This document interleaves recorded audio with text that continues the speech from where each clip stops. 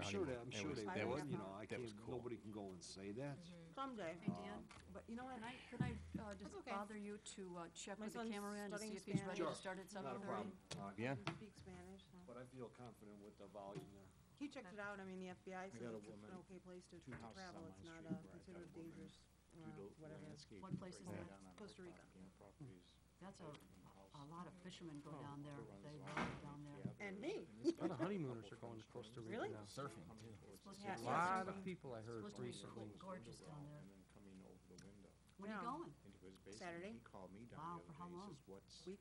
Wow. the city's Are you taking the kids or it?" just you said, and Oh, no, Josh? yeah, yeah, yeah, yeah, this is "It's not family, big it's a Oh, family okay. vacation. This is something Followed by needs to do. Gettysburg You're not sure in, in Gettysburg? August. Her issues, The kids are like, do we really running." all have to go to Gettysburg? I'm like, Right, Gettysburg is the one I'm looking forward to. we get this- can the city come That'll be It- it cool. is neat. to do that?" I, I love the East Coast for that their, as all the uh, Historical? historical stuff. Yeah. Right. And we don't get that here. Are ready? problem where Okay. the water runs towards We got That one I'm minute looking to forward go. I eat that stuff up. We rented a Civil War farm, which will be cool. Almost there. Is it on? Okay. I've got seven twenty-nine. You guys have your We all have seven clocks, I mean, your telephones on, is Yeah, it no seven clock. thirty? It's seven thirty-one. Okay. I'd like to call our city council meeting to order and ask everyone to join us in the Pledge of Allegiance. I pledge allegiance to the flag of the United States of America and to the republic for which it stands, one nation, under God, indivisible, with liberty and justice for all.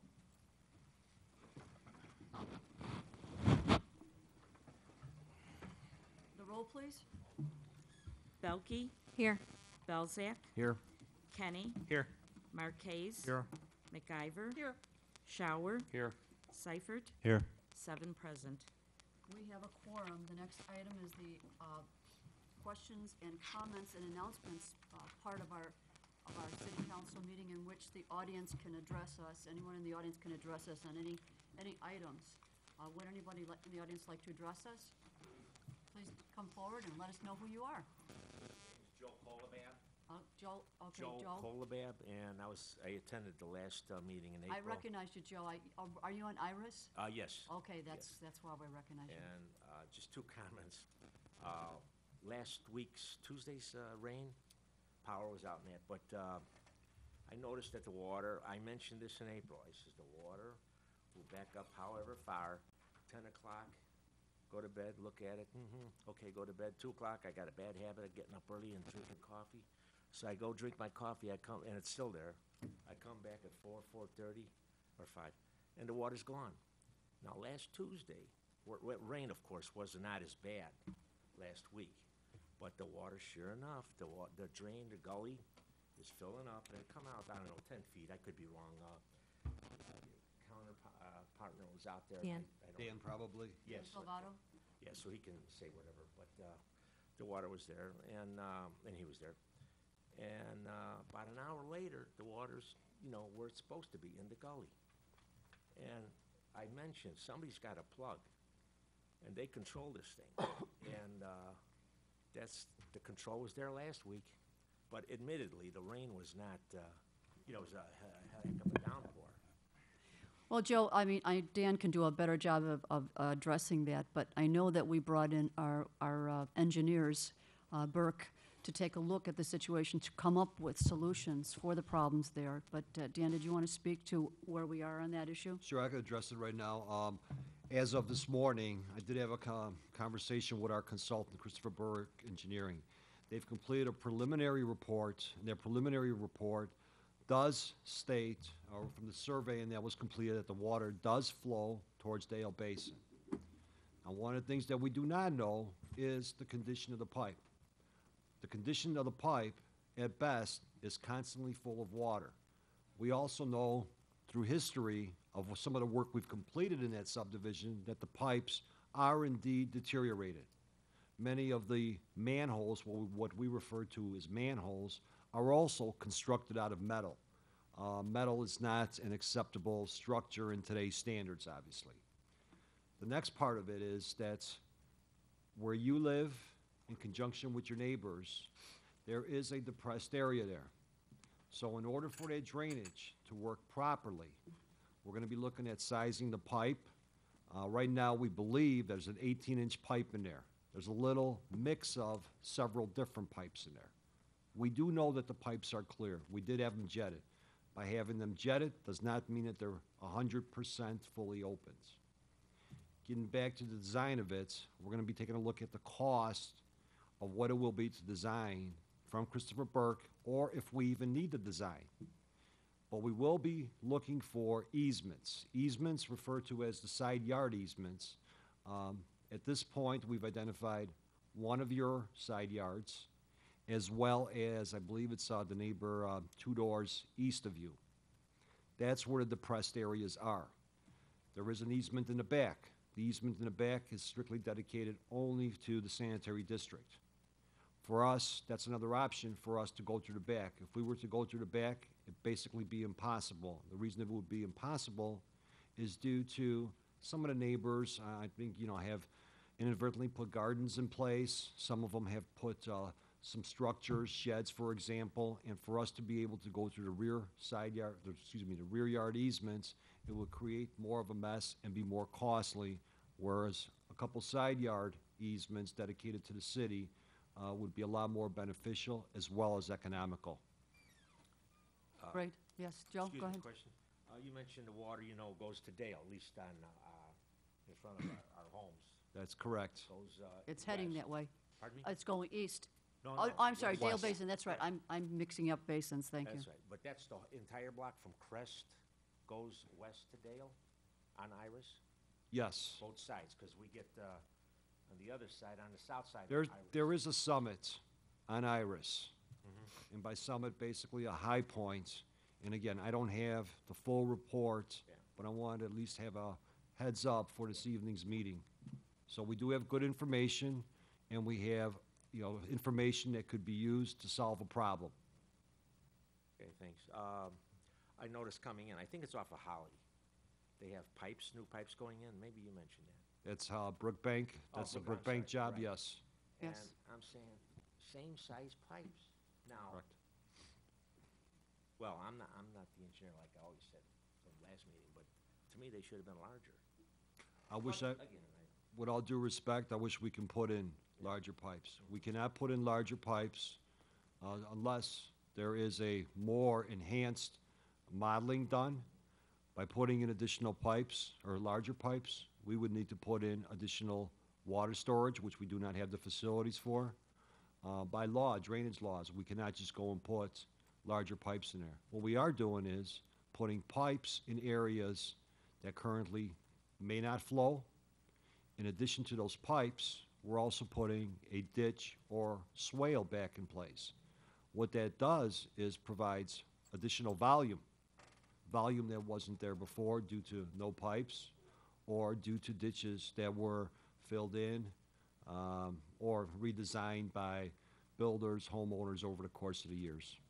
And Dan, just to clarify, by putting in larger pipes without uh, detention anywhere, all that does is flood neighbors. Somewhere, somewhere along that creek, other neighbors would receive that water where they may not have before. That's why the drainage laws since 1987 really have been changed to, to make sure that if you're increasing the flow, uh, the amount of water or the speed of the water, you need to detain it. Correct. I Other than believe- minor maintenance issues, uh, like, you know, cer- certain ditch things, but pipes definitely cannot be increased without added detention. Correct. You know, there's a certain, uh, for, when you put in pipes, for example, or larger pipes, uh, there's a cubic cubic foot per second that the water cannot, suc- uh, you know, exceed. okay, uh, thank you. Uh, one, uh, the accusation though, as far as, uh, the control of the water, If you let me know where that control is, I'll go out there with you right after the meeting this, tonight, okay? Because there is no, there is no control. There Okay, is so- no control at all. so you can't tell me why it goes, uh, I'll tell you why it does that. I mean, basically what it does is the, the surge of rain that we get, the pipes cannot handle it. Why the pipes can't handle it, I can't answer that question for you. then why is it gone? Because all of a sudden it catches up, the system has the opportunity to basically take on the rest of the water. There's several inlets up and down that block. I believe there's Yeah. one, two, three on Iris alone. Yeah. Um, one, it's a domino effect. So as soon as one starts receiving too much water, the rest of the water has to stop temporarily somewhere. Then it has the opportunity to relieve itself. Thank you for hearing me out. Okay. Dan, is it possible that that, that street is split between Dale Basin and Crest Basin? That was our original thought process, and with the final, uh, uh, once we look at the, des- the design portion of it, there, there is an opportunity where part of Iris did or does flow back towards, uh, uh, Crest. Yeah. And you've already got a lot of infrastructure in there along Crest Road already, so you would just have to tie into that. Yes, Yeah. yes. Okay. Thanks, Joe. Thank you. Would anyone else in the audience like to address the council? Let's move on to the approval of minutes of May 20th. Uh, Do I have a motion to approve? Alderman Kenny, seconded by Alderman Beilke, with, with one uh, typo noted on page 10. Uh, Is there any other addi- additions or deletions for the clerk? Then the roll, please. Kenny, Aye. Beilke, Aye. Marquez, Aye. Schauer, Aye. Seifert, Abstain. McIver, Abstain? Belczak. Aye. Five ayes and two abstentions. Uh, Receiving of communications, do any of the aldermen have communications to share? Alderman McIver? Thank you, Madam Mayor. This is a, you know, ki- let's continue about the water. Um, I had re- several residents express continued concerns about, um, the street, the pooling of water at Aylesworth and Stewart. Um, the resident that's right at the end of Stewart, so on the west side of Aylesworth Drive, the water almost came up to their garage door, but that, that intersection was like almost impassable. And this happens, you know, I mean, it, it eventually drains away, but, you know, it's one thing if it's in a, you know, a, um, a culvert. It's another thing where it makes the streets im- impassable. And, and, you know, we didn't have this situation until they built that, Gallagher and Henry built that last house there and, and developed that area. So I'm just kind of wondering if, are we trying to work with Woodridge, trying to figure that out? Or is there nothing that can be done there? I kind of tend to not really have an answer for them. What we could do is, um, we could put our engineer on it and take a look at a modeling study to see if there is any type of restriction in place, but I know I've been out there several times, and Gallagher and Henry was notorious years ago, prior to the stormwater ordinance, to use roadways for detention facilities. Um, you know, so other than that, I, I know there's a large, a very large pipe in the back, and what we could try to do is take a look at, I believe it's a 20, 36 inch pipe that's in the back. Yeah, and it's strange because before that wasn't just an open lot, and when they finally, remember we, we back in whatever two thousand and When they put up the one, hi- are two, the high rises you're when, talking when about? Woodridge started developing that property, and then Gallagher and Henry built a house on that lot. Ever since then, it's become like a dam at that point.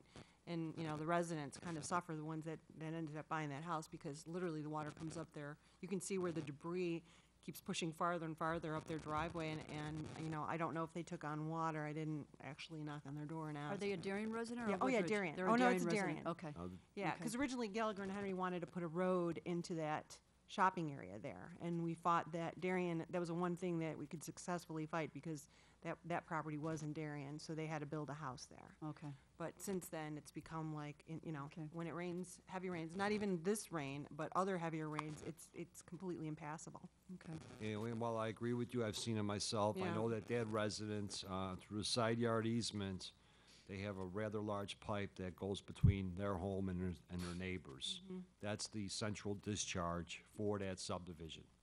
Or I should say, one of the central law Yeah. Where does it locations. discharge to? back to Woodridge into a pond, uh, which would be, there's two ponds there. It goes into one pond is where our water goes, then it goes into another pond, and then it goes back down to Lamar Road.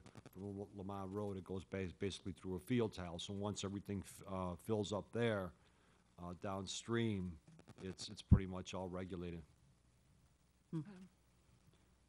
Could, it- uh, we might have to, um, what do you call it, uh, video that line to see if there's restrictions inside? I know that we had that one jetted in, uh, but we'll double check, you know, That was a see few what's- years ago, didn't we do that a couple Yes. years? I And wanna there s- was some obstruction at that time. We did find obstruction on the back line which was a little bit north of that location. Um, yeah, but that would have not had any effect on the one that you're referring to at this time. Yeah, okay, Okay, thank you. You- thanks. You're on top of it there. Any other communica, oh, Alderman Kenny? Uh, Thank you, Madam Mayor. I have a few communications. Um, I received a, a phone call from Mrs. Michelle Gray on the 1800 block of GG Lane regarding tree, a dead tree that was adjacent to her property line with the Park District. Mr. Gombac got in touch with the Park District, and we were able to give Mrs. Gray a, an answer that she was satisfied with. Um, on Saturday, or last week, we, were- myself and staff received letters from a Mr. Roger Persher on Golden Grove, um, the 7100 block regarding a sump pump issue. By the time I got out there on Saturday, when it was nice and rainy, it was a good time to check out a sump pump issue. Apparently, him and his neighbor were able to, you know, rectify that issue. And Chief, I got a, a call from a Downers Grove resident to, to talk to me about uh, graffiti um, on the, on the sign in front of Citibank. I know we emailed it to you. Um, I was driving out near town center today and I saw the exact same graffiti markings on um, a light pole. And I, you know, for Mr. Gombac, and we've taken care of it. It's, it looks like it's the same three markings that you had at the Walmart, we had at the Citibank, and now this one. what we're doing is we're, we're, obviously, it's not something that we're dumping a lot of resources into, but what we're trying to do is determine uh, if there's a new t- uh, tagger who's moved into town, because it's clearly not a gang graffiti, but it is in fact, uh, uh, uh, the- has the earmarks, earmarkings of a, a- a tagger. Uh, It's a uh, scribed name in some type of cursive writing and uh, a circle with three uh, three Circles. prongs. uh, Yeah. uh, That looks almost like a stick person with three little hairs. And so that, that, we're, uh, our, our position right now is it's not gang graffiti, but it is, it is in fact graffiti. And we've, uh, checked with, uh, Hinsdale South and Downers Grove, uh, high schools to see if there are any new kids or if they recognize the graffiti. Both of the SROs, the school resource officers, have indicated they do not recognize the, the, the graffiti tag. Uh, but we, we are still, uh, following up on it. Yeah. Okay, thank you.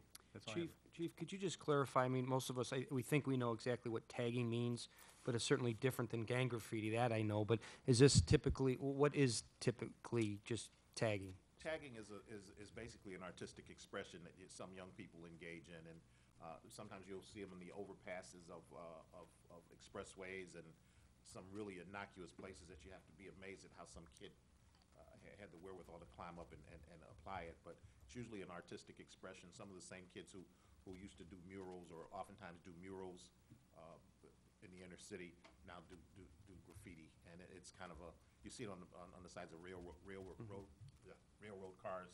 And so that, that's the kind of thing that, that, that, that they do. It's, it's, it's nuisance, it- it's a nuisance value and it, it, uh, it looks bad in most cases, but it's not related to, to a larger criminal activity.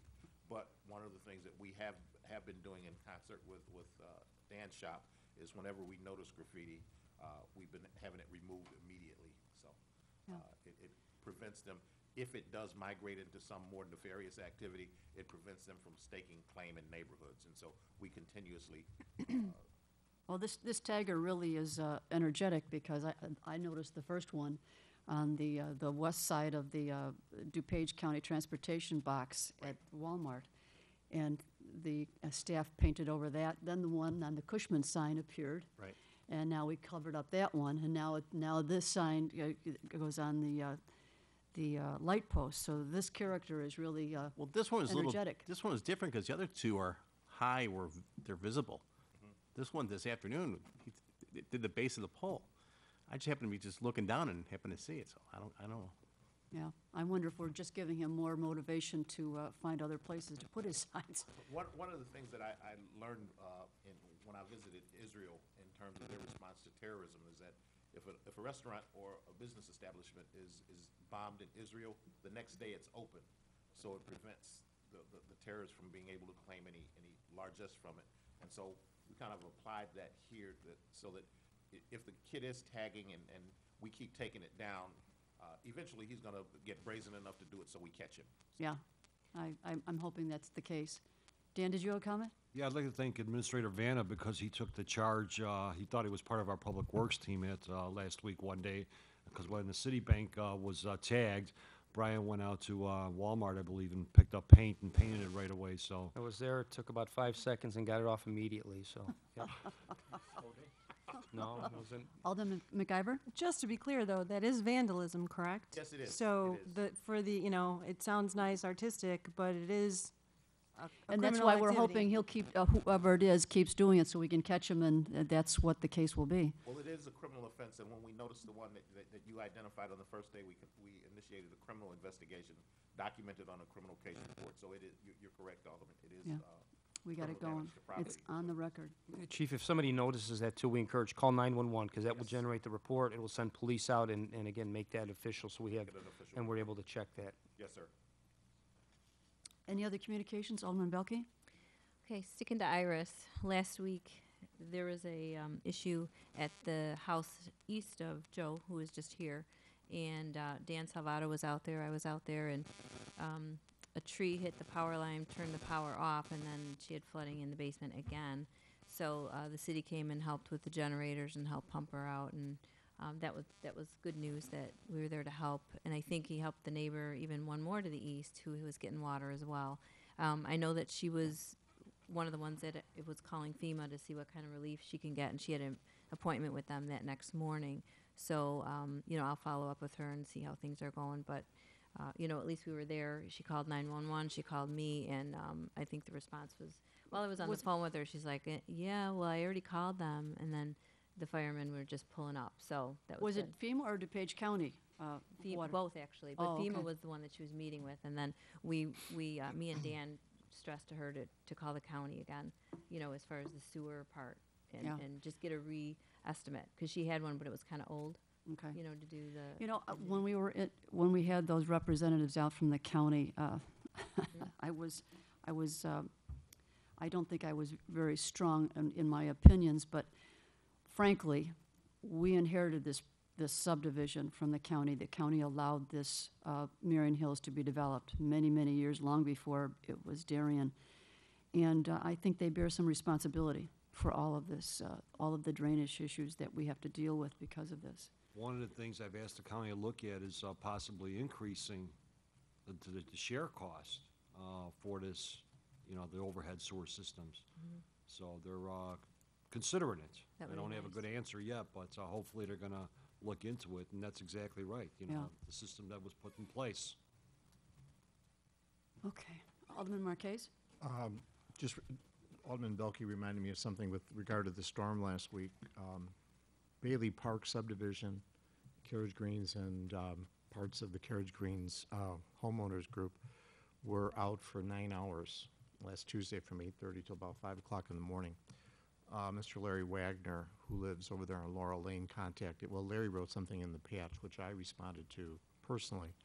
But I told him that while you may not see a story about it, we at the city are concerned about it, and that we make notations of everything like that, and that if Larry wanted to know specifically what the cause of that was, they could contact Scott Coren at the city. Uh, I don't know if Larry did that, but I guess my question is, do we know what the cause of that power outage was for nine hours last Tuesday?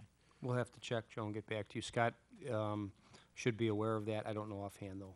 Larry, and Larry felt really good to know that the city pays attention, you know. I said, "You- you're not gonna see a story in the patch about it, but it, the city does, is concerned, because we're always concerned about why it happened. It, was it something that could have been prevented? I mean, it could always be where a power line went down because of a tree or the wind, but mm-hmm. at least to be able to tell residents what caused that. And he was happy to know that we do pay attention to that. Well, that's, in the past, when we were really going through some tough times with ComEd, we encouraged residents not only to call ComEd, but to let us know immediately too, so that we could follow up with our representatives. And we still do that through Scott Coren. So, yes, we encourage residents to contact us after they've contacted ComEd to let us know what the situation is.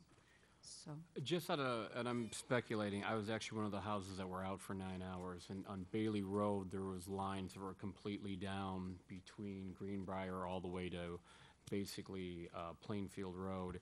And I was just remember sitting in my living room, and I heard this crack of thunder and lightning almost immediately, and that's when everything went out. So I'm just working under the assumption it got hit by lightning.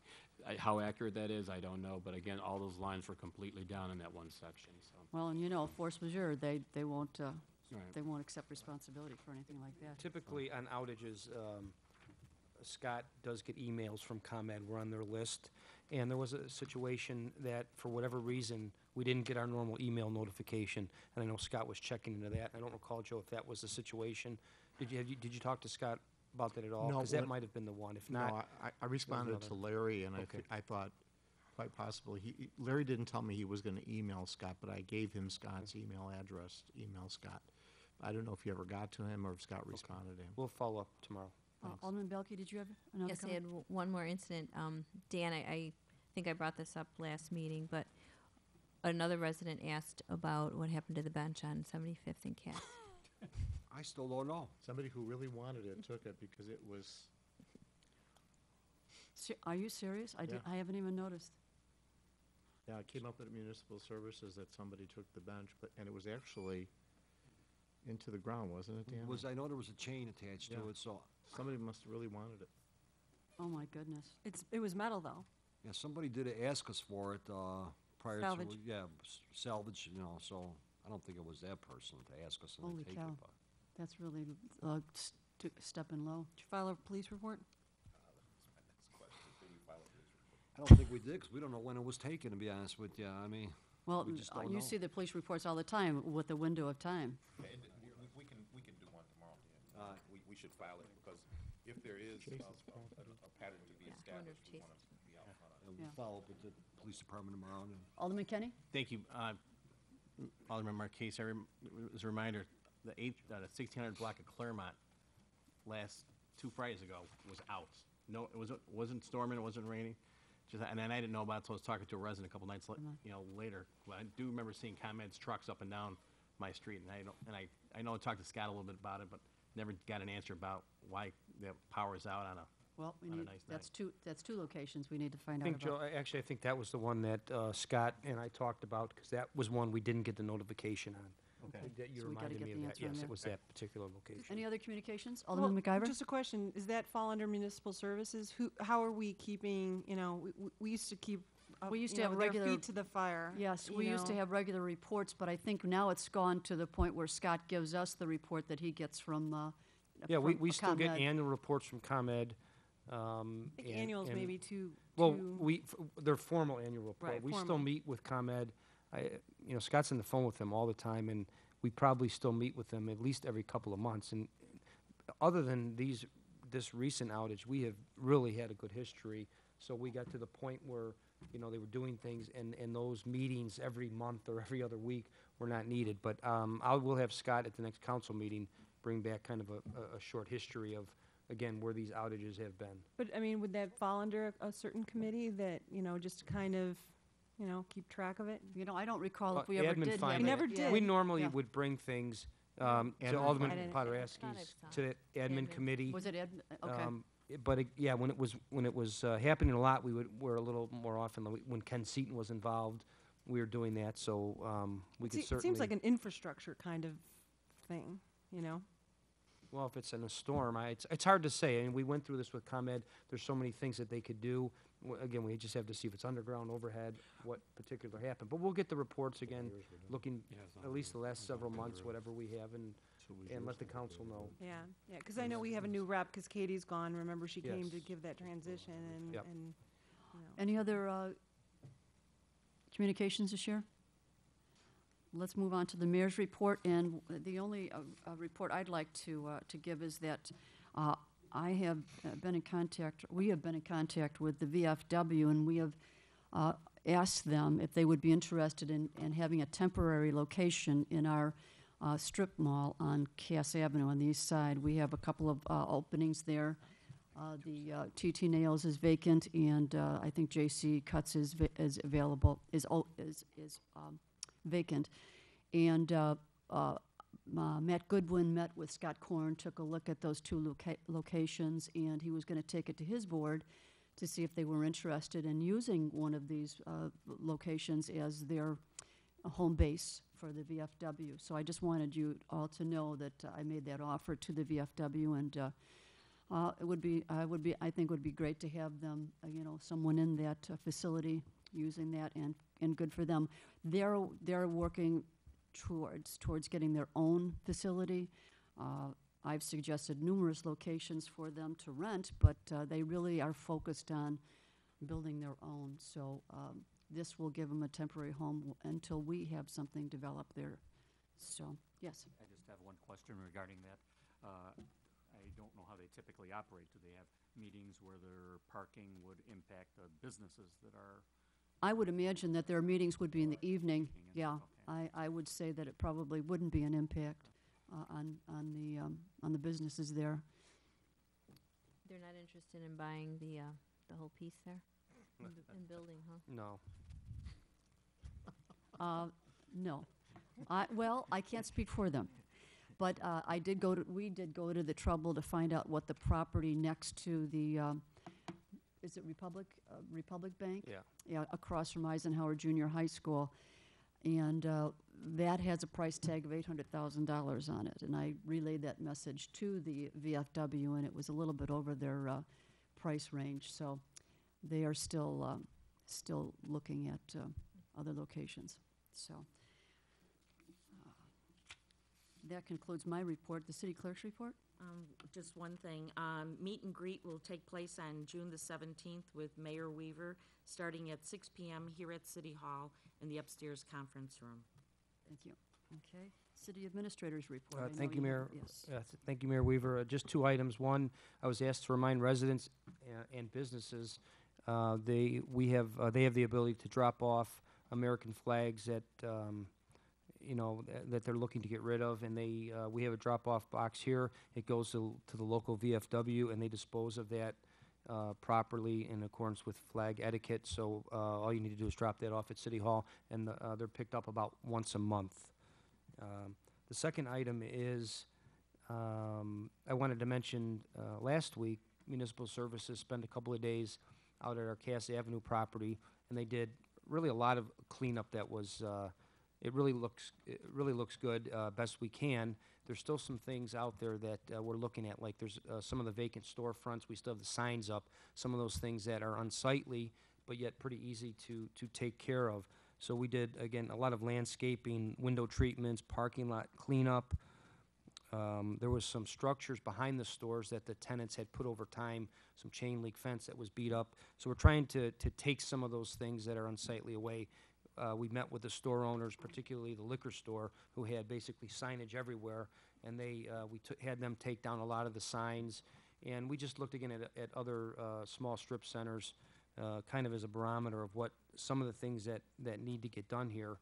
Um, and that cleanup prompted a, a, a couple of uh, discussions amongst Mayor Weaver, myself, the staff, and actually a resident in town who's a developer, um, and had looked at that property years ago, and the issue of, of redeveloping ourselves, or remodeling that building came up.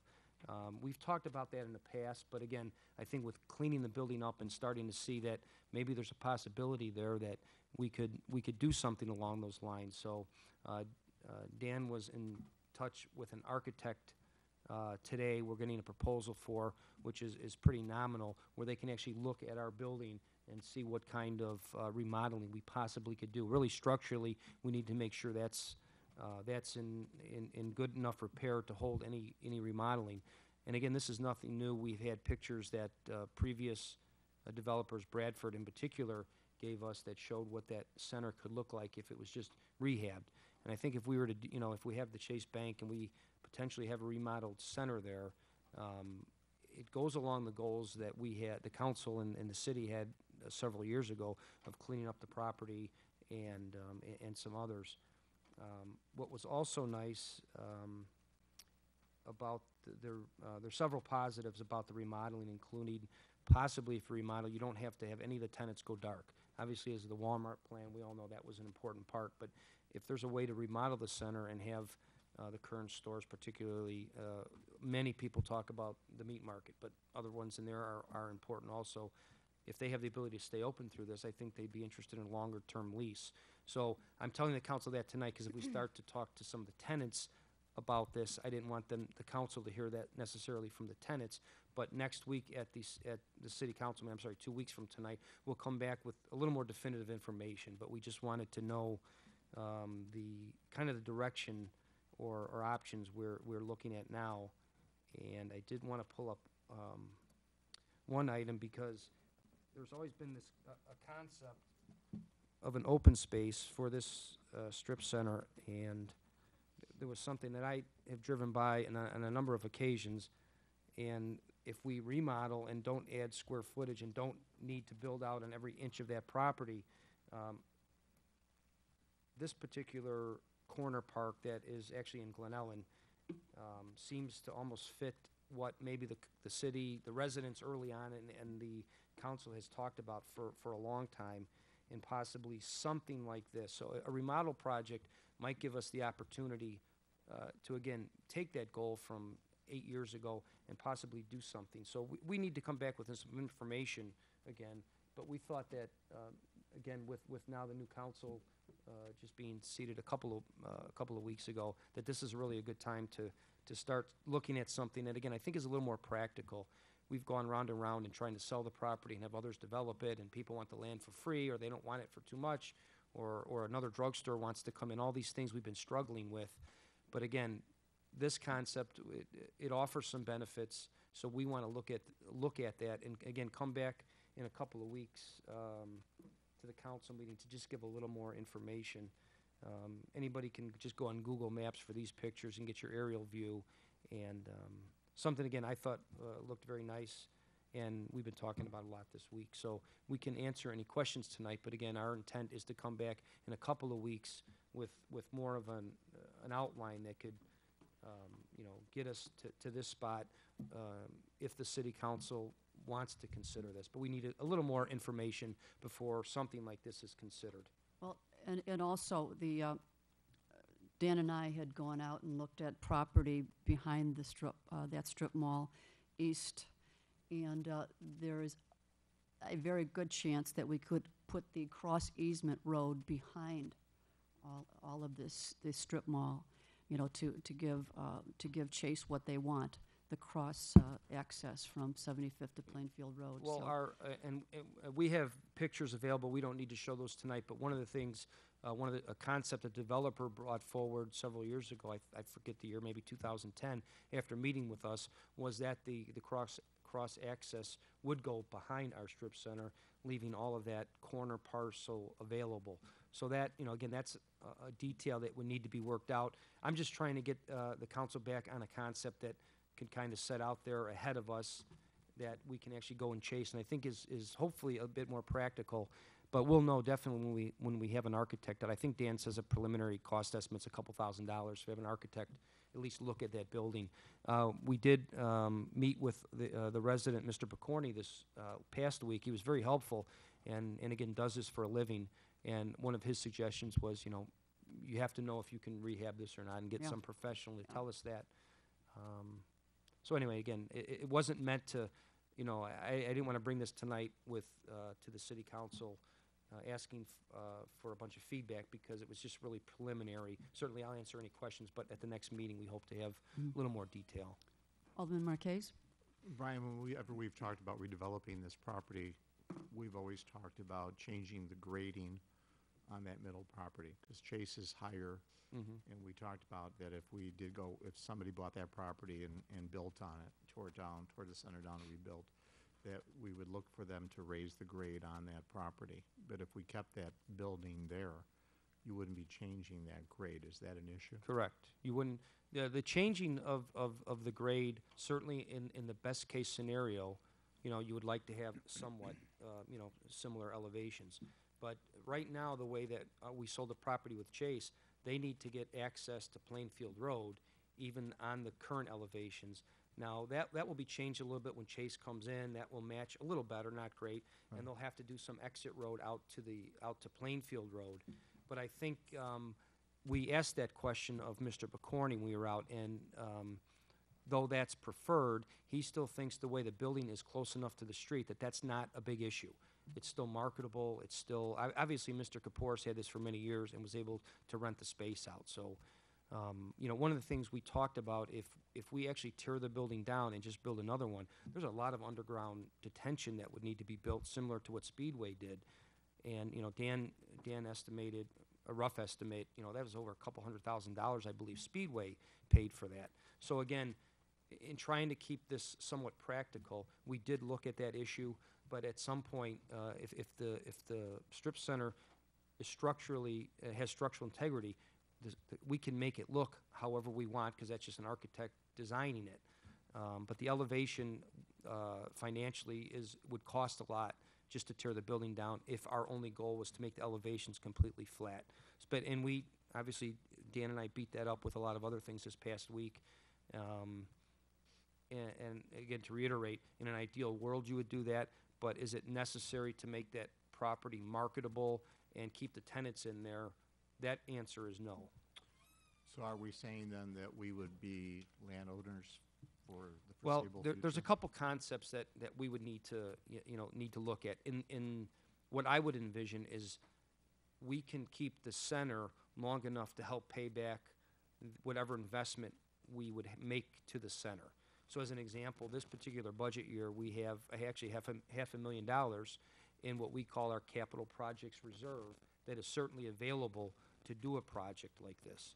So that is, uh, that's one way to do it. So if it cost us, let's just say five hundred thousand dollars, our, our profit from that center's been about hundred and seventy-five thousand dollars a year.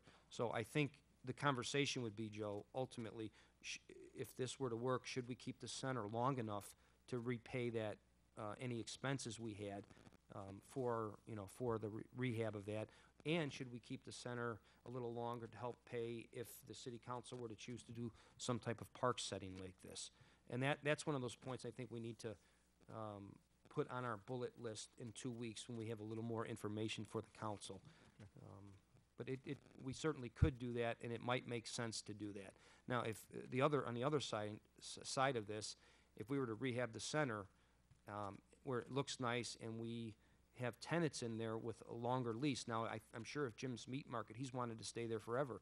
If we come back and, and tell him our plan, he might want to sign a five-year lease as an example. And certainly, the more attractive of a cash flow we can make this, the more valuable it is. So at some point, we'll have to de- decide if we keep the center and, and make money to pay off the, the improvements, or that we sell it now because it's a viable center and, and certainly valuable as a, as a, as a cash flow. But that's, a- we're, we'll get there, Joe, but we're not there yet. Okay. Yeah. So Alderman Brian- McIver? Yeah, Yes. I, I had a question. So the, you know, conceptual idea that, that's, you're kicking around and that the architect would be looking at would be, would it be a comprehensive look at that parcel with the Chase, with a rehabbed, um, center? And then would this park be what's along Plainfield and Cass? Yes. On that corner? That, that's the concept. I mean, concept. just an uh, idea. Yes, that's the idea, and, and, um, again, i- i- probably after the meeting, because it will be easier for everybody to see, uh, behind Dan, we do have some pictures that a previous developer gave us that showed this concept. It showed the chase and how the chase is laid out, and it showed the existing strip center with a rehab. Right. And it didn't show this facelift. park. Okay. That's why I kind of wanted to show the park tonight on the, uh, on the monitors, so you can kind of envision what might be able to fit on the Plainfield side. Because that still doesn't preclude you from, at some point, when the economy is kind of in a better state, to sell that parcel anyway, because that's just green space. You're just, you're just improving that I guess, corner. yeah. I mean, I'm, you know, you don't necessarily have to go with the pavers. I mean, you could do something similar at a, I mean, I And- think you'd have a hard time selling it once it's established as Yeah, a I- community I, park. I think, I think part of well, the Park District buy it. the as a part- nominal dollar, the obligatory dollar, which might be the offer. But I think what, what, what Kathy and I had talked about is trying to resurrect maybe the vision. So Yeah. I think the vision all along was a, a, a park-like setting somewhere in here. It Didn't have to be that big, but it, it really should be something that looks, uh, looks nice. So brick pavers as an example, you know, if the council's vision is to put a, put some kind of, of, of non-active park, not, you know, not playground equipment, but something more along these lines, I think, th- at least what I have been contemplating since the last two weeks we've been talking about this, is a, something like this. This just caught my eye again, and I thought, yeah, that would be something that I think the residents and council could be proud of and, uh, and could have there for the long term. How many But- empty storefronts are there now in the strip center? Just, I think it's just two. Two? Yeah. Two, but the State Farm retired. Right. and they'll be moving out of the building shortly. Um, I, they, they might have stayed, But if we something could have given like- them a longer lease. Right, but something like this might attract, say, some small, another small food establishment. Yeah, we- Because you have more. Well, we're still traffic talking to flow. restaurants, you know, Yeah. and- and that come into us, uh, one of these spaces. Right. And if a couple move out, a bigger space. Yeah, when we're contem, you know, again, I, all of this is, is more brainstorming, so Yeah, if I'm right. saying something, it wasn't, and none- nothing's been etched in, sk- in stone, but we've certainly been, um, again, with, with talking to our local resident and getting that site a little cleaned up, you know, just some of the energy's got going again, um, in terms of trying to get something done that's, that's within, uh, you know, a, a relatively uh, quicker time, time frame, and something where we don't have to talk about another drugstore and, and, and nobody really want it. So this, uh, would give us the ability to, um, again, one way to do that is you have, actually have a property manager. If we own this building for the long term and knew we were gonna keep it for eight years, we would probably get some leasing agent, somebody that could help with that. Uh, but I do know Scott got a call today from somebody who's looking at possibly a hair salon, and they might be interested in something like that. Um, so it's possible, but I, I don't see any reason why if that building didn't look nice and, and we could go out and tell tenants now, we're not gonna knock it down, we're gonna rehab it, that we certainly would, it's a good location. There's no doubt about that.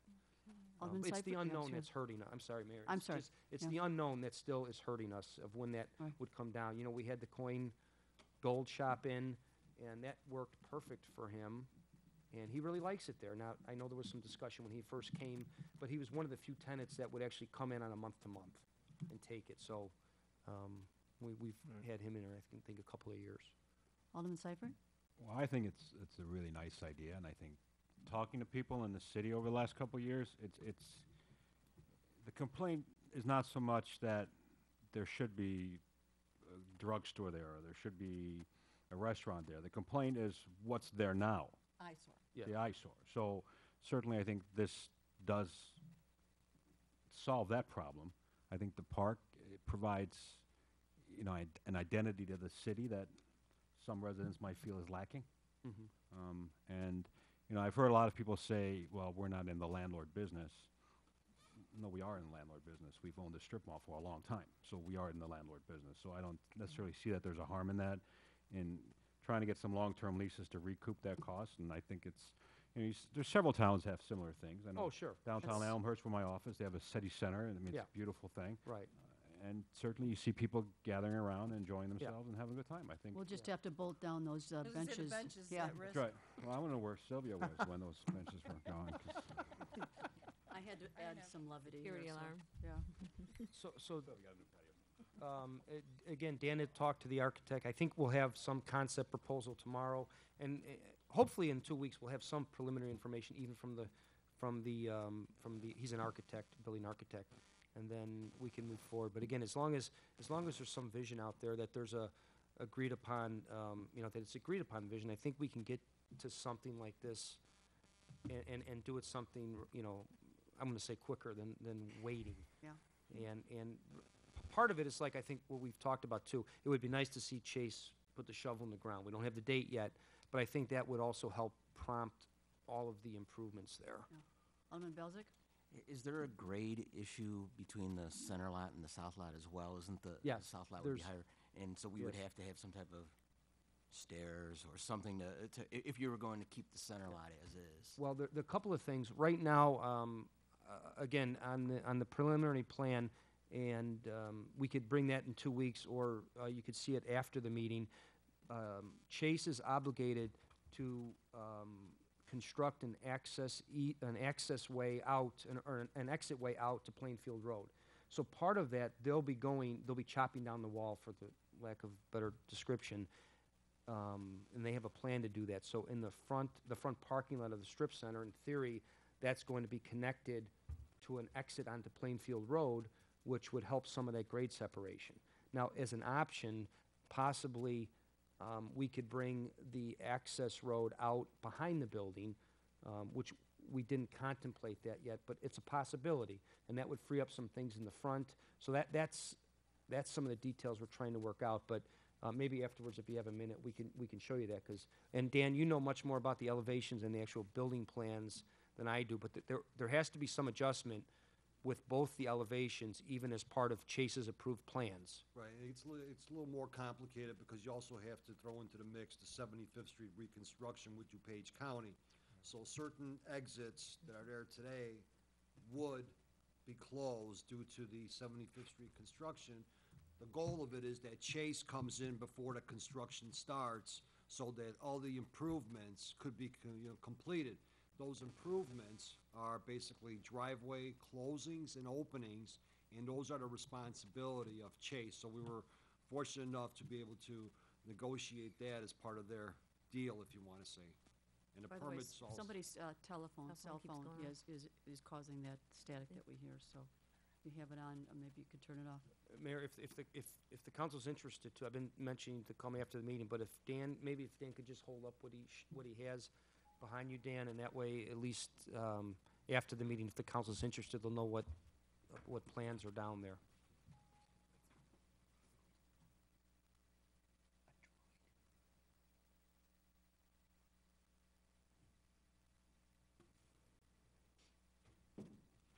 This is the best illustration right here. This is the one that, this is the one that we had, uh, several years ago, a couple years ago, I should say. Our vision was, which which was brought back to a goal setting. The bottom picture here is the current condition, current site. Up on top was a vision, conceptual plan that we had. It mimics Marketplace, if you're familiar with Marketplace. Uh, That was the thought process behind it. Again, as Brian said, the architect that's coming to review will review the structurals as well as make a determination on whether or not the building is suitable for a remodel or it should be raised and reconstructed. So this was, again, some of you have seen this, some of you have not.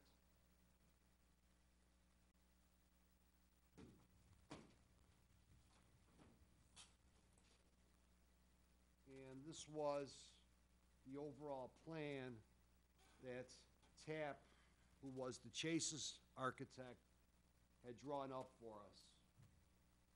So again, it's a little bit of the, you know, the access road, ea- the access road easements, And Dan, that's, along with their that's, building. I- I'm sorry, just, s- that's old because I know the, the, the access there closer to Cass was not permitted. The sec, the south one was. So that, that's kind of just to show everybody the concept of, of how that might look, but it's not the approved plan. Correct, yeah, the old, call it the elevation, or not even the elevation, the aerial, if you want to say. Dan, why didn't they look at the access road behind the building? I mean, why wasn't that like the first choice? Originally, they did, there's not enough room there currently. Okay, so how, why would it work Well, now? When I say not enough room, right now you have parking back there. You also have loading and unloading. Can you make a one-way out of it? The answer is yes. Um, Uh, If we have the opportunity to gain property from the east, there's more opportunity for us to be able to create that dual traffic. Yeah, we, we talked, the apartment owners also have, there's a common, common line there. And if we were able possibly to get some property for them, that might help give us a little more room. But I think al- also, though, the access road from Chase, one, the way it was designed there, one of the benefits was that is, is patrons leaving Chase have to drive in front of the stores. And that was a positive for the, s- the businesses at the time. So we, we talked through that a little more, and, and at some point, that was preferred location, because again, the thought was, if you have a, a barber shop there, you want customers from Chase to see your barber shop. And if they're in the back, they're not gonna see it as well. But that would preclude you from doing that? No, not at all. Having the road in the front? Yes, there's still room. Yeah, there's, But I mean, if you, ideally, that park would come right up to the sidewalk, it would, having the, a road go through there And wouldn't. that's, and then I think I as would think part of we'd the take away concept from plan the- is you take the, the park setting, put it next to the existing building, and put the road on the outside of that adjacent to Plainfield Road. So, you know, we could flip it. that detail though, so that we need to put Yeah. that on, We'll show. Yeah, because Yeah. I mean, We'll if show you. you're, if you're looking for quote-unquote kind of that, you know, coming into Darien, look, I, I think that having the park Yeah. right up to the sidewalk like that would be more, I agree. yeah, um, I could show you. I- aesthetically pleasing like that, If- as opposed to having a Yeah. road. A road going If you look at this particular picture now, you can see there's a store here, but there, they did make some access road here. So possibly on our site, if you did an access road here and then l- hit, And then pit. came back out behind Yeah, it. I mean, yeah, we need to go through Right, that. but not all, all the way across the front like what that shows. Mm-hmm. Possibly, yes.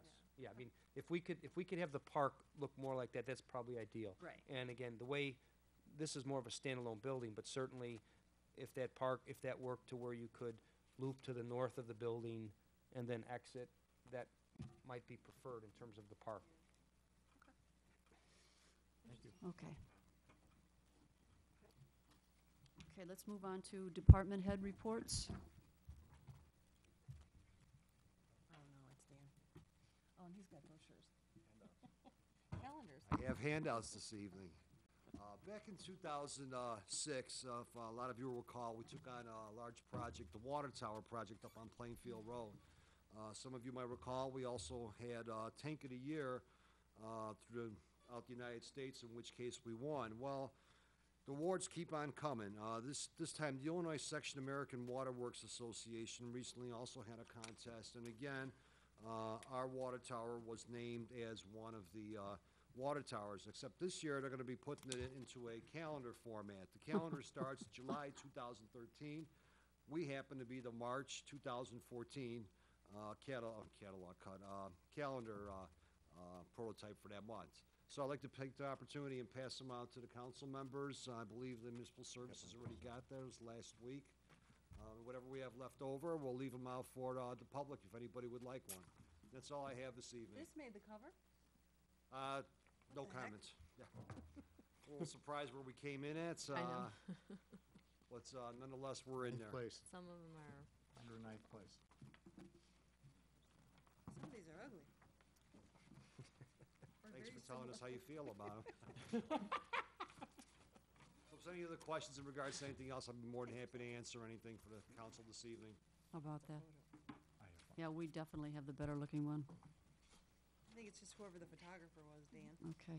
Thank you, Dan. Uh, Chief, no report? Okay.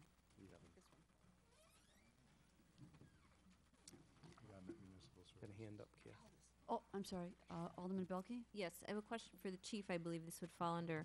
The bikes for auction that was recently put on Darien Connect, can you tell us how that works?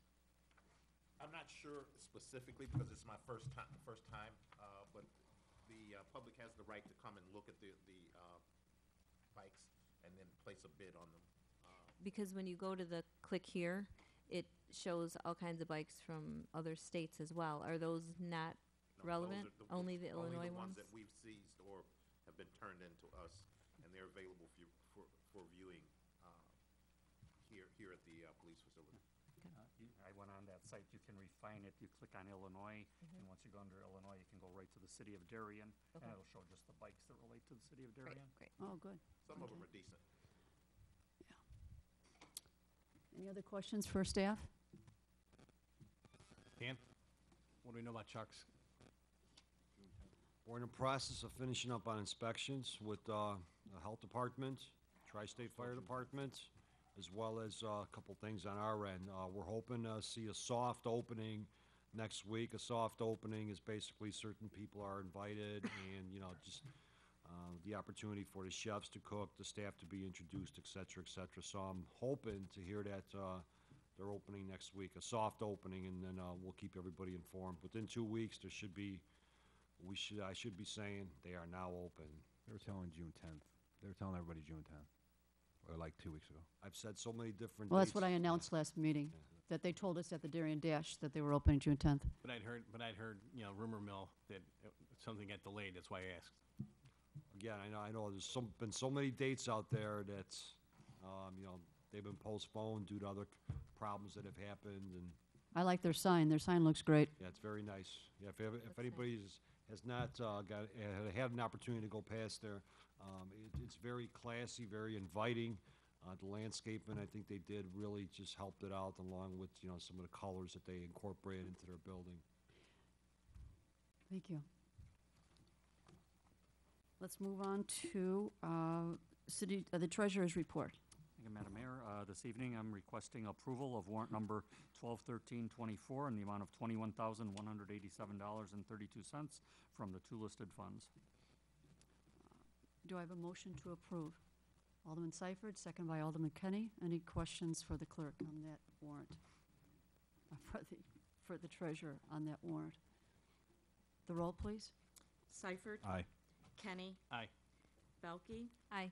Belczak. Aye. Marquez. Aye. McIver. Aye. Schauer. Aye. Seven ayes. Approved. The sec, the next warrant? Okay, next warrant for the current fiscal year, uh, warrant number thirteen fourteen oh three, in the amount of three hundred seven thousand, six hundred twenty-two dollars and ninety-six cents from the listed funds, as well as payroll for the period ended May sixteenth, as well as May thirtieth, uh, for an, a payroll amount of four hundred ninety thousand, one hundred forty-four dollars and fifty-nine cents, for a total to be approved of seven hundred ninety-seven thousand, seven hundred sixty-seven dollars and fifty-five cents. Do I have a motion to approve? Alderman Schauer, seconded by Alderman Seifert. Any questions for the treasurer? The roll, please. Schauer. Aye. Seifert. Aye. McIver. Aye. Marquez. Aye. Kenny. Aye. Belczak. Aye. Beilke. Aye. Seven ayes.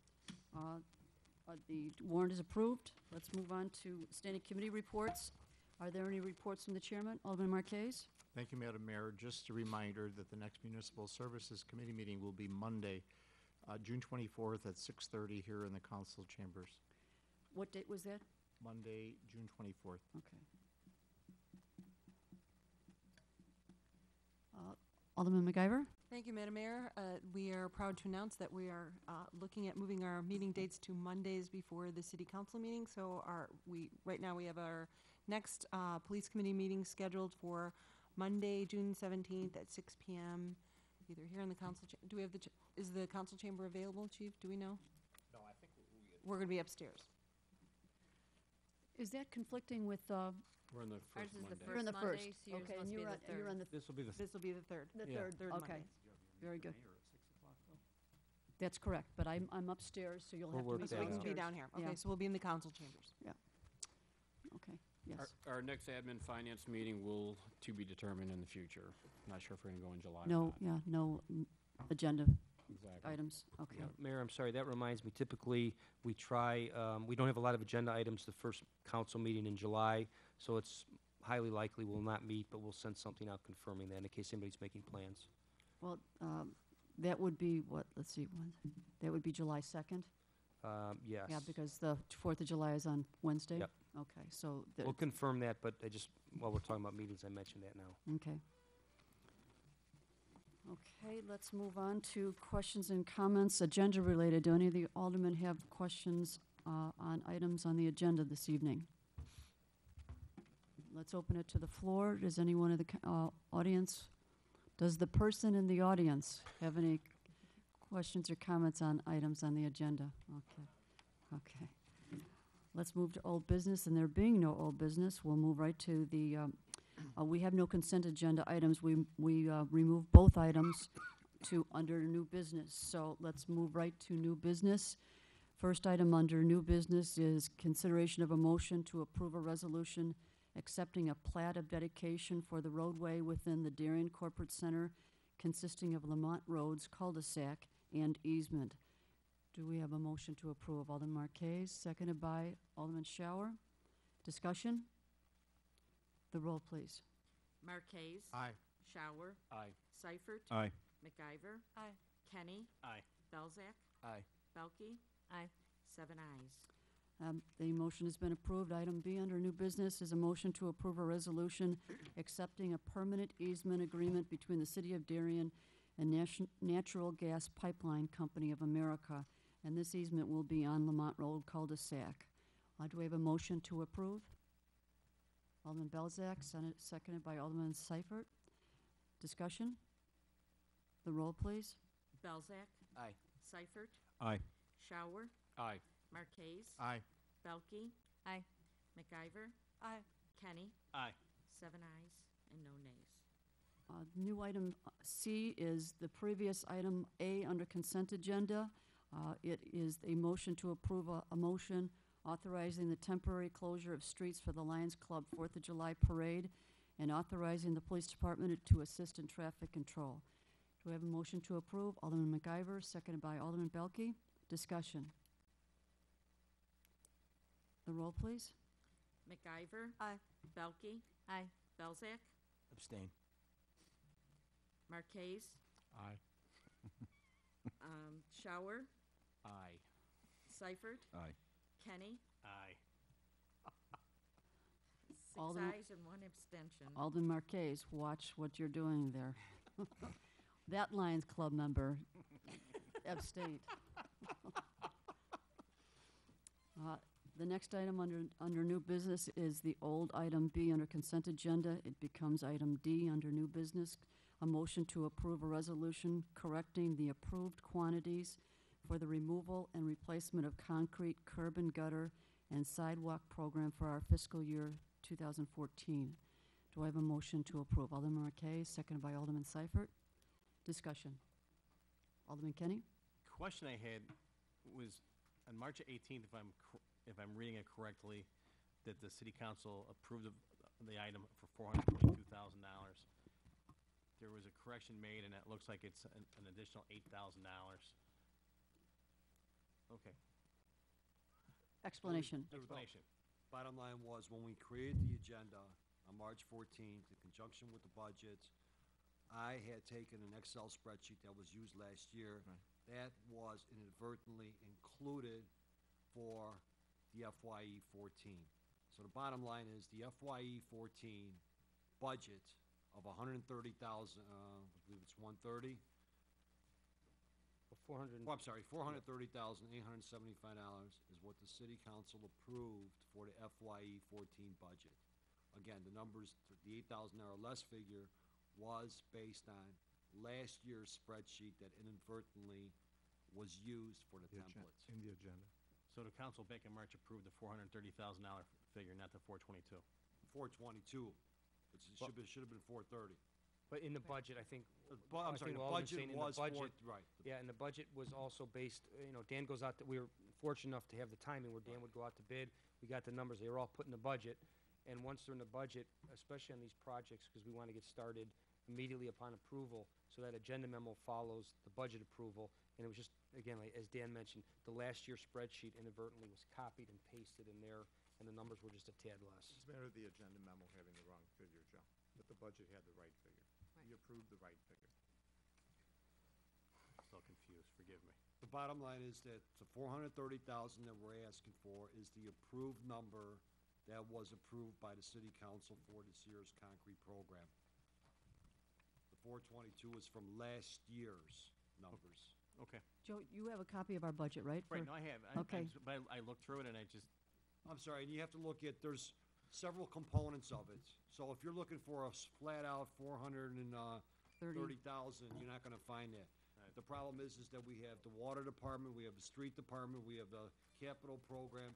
There's several different components, and you could see uh, on a description what all those components are, special projects, whatever the case is. so back in March, did the council know they're approving $430,000? Yes, yes. Well, w- wait, Dan, I think we're getting confused by the council approving in the budget or the council approving in a separate, um, Item, separate item, um, like we do, Dan. So I think the council came, um, and approved the budget for thirty, and the exhibit in tonight's packet is meant because there are, they're all, they're in a few different spots, water fund.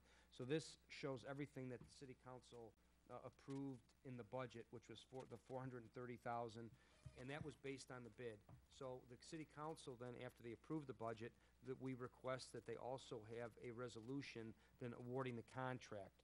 And when the city council issued the resolution awarding the contract, that's when we had the number and the old spreadsheet in there of, of four hundred and twenty-two thousand. So, Joe, your, your, your question is, i- what, did the council approve the four hundred and thirty thousand?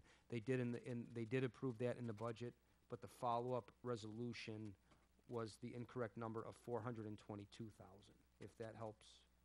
That helps. Thank you. Any other discussion on that item? The roll, please. Marquez. Aye. Seifert, Aye. Schauer, Aye. McIver, Aye. Beilke, Aye. Belczak, Aye. Kenny, No. six ayes and one nay. Uh, The motion is appro- is approved. Uh, Let's move on to questions, comments, and announcements of a general nature. Alderman Marquez. Uh, Thank you, Madam Mayor. Uh, Mark Lewis, who is the chairperson for the July 4th parade this year, sent me an email last week and indicated to me, in fact, I got another phone call tonight before I came, that he had not received any information from any council member with regard to their write-up for the uh, July 4th parade. Uh, And I realize that it's a new format this year. Actually, it's not a new format, but it requires each of you to write your own script as you want it uh, stated. So I, he asked me to again remind council members to go back, find that email from uh, the Darien Lions Club, which indicates that there's, there's actually two forms. One is the application form that you actually fill out where you write your script, and the other one is the agreement that you sign and mail back to him. And he asked if we could please have you guys take care of that since the July 4th me- is, is coming up. When did you talk to him?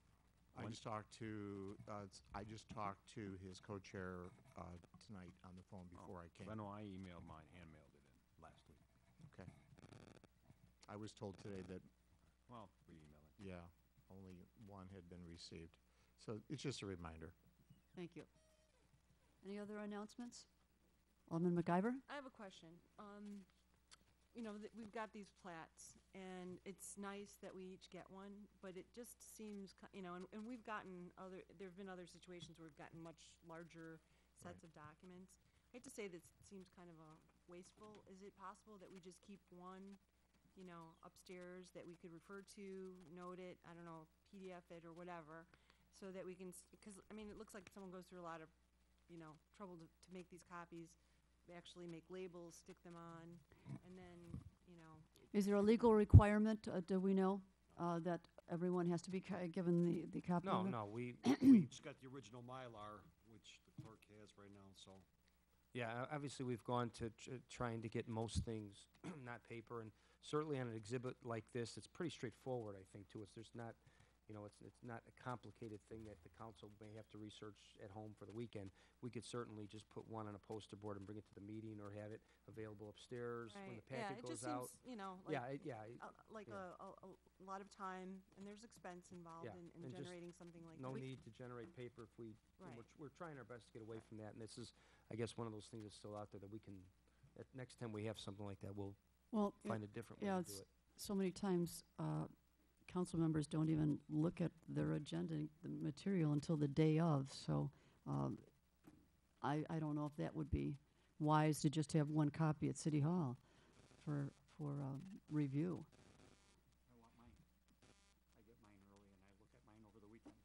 Yeah, it's, uh, it's a, it's a tough question. I don't know which way to go on that. I Well- don't- You, you can, you can shrink, you can shrink those plats down into a, P- you know, PDF. Yeah, and- but and- that's and what I'm mail it- saying. and just mail Have it. it as an, as an attachment, just like we do every, the Yeah. rest of the packet, I guess. Sometimes you can't read the PDFs, and that's why, I mean, we could always, we'll, we'll start out with putting one as a PDF, and then we'll have a couple hard copies in, in City Hall. Yeah, I think what we'll do, because this seems to be the normal size, we'll go back and, and scan one and see what that looks like and You have do the our best to display use that. now, I mean, I think there's just a way to be more cost effective, I don't know. I- Like I said, The, pr- the printing is small enough as it is on this size. Well- Can you imagine we're what it's not gonna reading- be if you, I, I don't think anyone's I know reading. my- PDF? The survey companies I use, they, they will email me PDFs that I can manipulate pretty nicely. Um, so Yeah. they're, I mean, I can I even pull up on manipulate, my you can phone make and it I can- larger, and you, if you have a certain section of the plat, you pretty could high- zoom in, so yeah. it's, Well, if yeah. it's an Adobe, you can zoom in. Yeah, you right. know, Right, And then we have the screens now. I mean, I don't even know why we wouldn't be able to just put it up, you know, I, I don't know. It just seems like we could be more efficient when it comes to this. Well, it's, it always comes down to how, how, how transparent we, we like to be here. And, uh, do we, wa- it, does that run into that issue of, of being as transparent as possible? Well, we'll put it, I, I- I'm sorry if I, if I, m- uh, maybe I misspoke. If we're bringing a hard copy here for the aldermen, we can still put that on our website for the residents that want to look at the packet. I mean, we can- Okay. we can do any of that, we just need to c- call our, um, computer consultant, our, our web, um, web services and ask for them. I think the question was just here, the council not getting paper copies. No, but and I how mean, can we look it- at it'd it, but be- the citizens, It being Well- part of the electronic yeah, packet. yeah. We, we'll have, I'm sure we could do that. Very good. And I'll give you my copy right now and return it, so you can do whatever you want with it. Um, I would like to open it up to the floor if anyone wants to address the city council. Oh, come on up. Oh, mm-hmm. Uh, no, I just uh, want to thank Dan and the. can you identify who you Sure, are? my name is Stan Wadlacki. I'm the uh, president of the Darien Corporate Center, North Road and Detention Pond, which is soon to be just the detention pond, I hope. Um, I just wanted to thank you guys all for professionally looking at the situation that we were in and resolving the issue. And I especially want to thank Dan for all his efforts in working with all the different business owners and res, you know, businesses in that area to get this resolved. Uh, It's been a- a pleasure working with you. Thank you. Thank you. Thank you. If there is no further items uh, to discuss, I'd like to ask for a motion to adjourn. Alderman McIver, seconded by Alderman Kenny. All in favor? Aye. Thank you. No, we Thank you. Don't. Sylvia, we really missed that two weeks ago. Nobody know, nobody knew to do. Nobody knew what to do. We sat here. You've been here since two weeks ago, right?